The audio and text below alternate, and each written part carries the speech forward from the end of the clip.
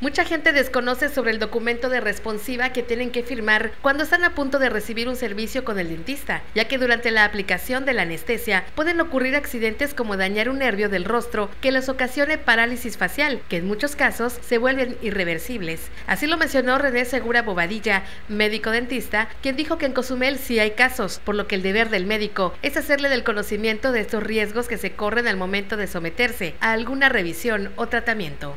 Mira, nuestra carrera es una carrera muy noble, pero en la cual también, como cualquier carrera del área de la salud, implica también muchos riesgos. De hecho, es así que cada odontólogo debe de presentarle a su, en primera instancia, a un paciente su hoja de firma de, en donde están conscientes de que pueden existir ciertos riesgos.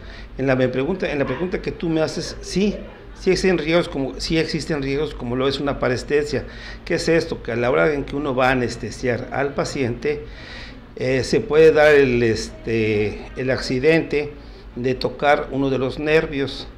Eh, ¿Cuál es el resultado de esto?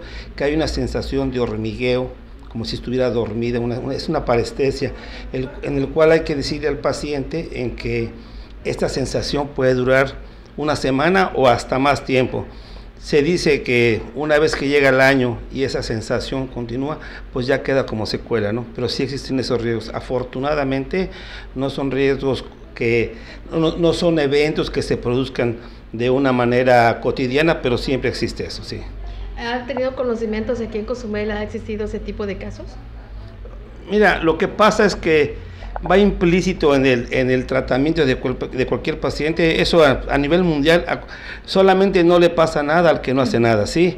Este, yo supongo que así aquí debe haber pasado eso y va a seguir pasando.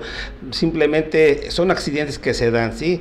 Aún sin llegar a, lastimar de manera determinante un nervio o algo así, son riesgos que ocurren y por la forma anatómica de los, de los pacientes, pues no es la misma de uno a otro.